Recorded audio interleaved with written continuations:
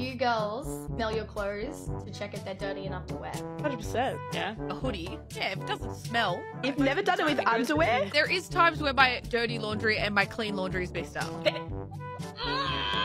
I'm so sorry. Just having a bad week. I'm out. Wash bucket there. I'm having a bad day. Yeah, that's it.